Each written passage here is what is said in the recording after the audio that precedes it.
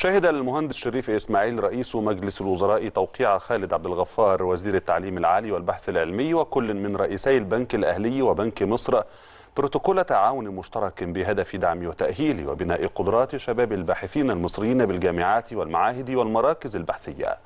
يأتي توقيع هذا البروتوكول تنفيذا لمبادرة الرئيس السيسي لتأهيل وبناء قدرات الباحثين المصريين بالاستفادة من خبرات الدول الأجنبية خاصة في المجالات البحثية التي تخدم قضايا التنمية في مصر.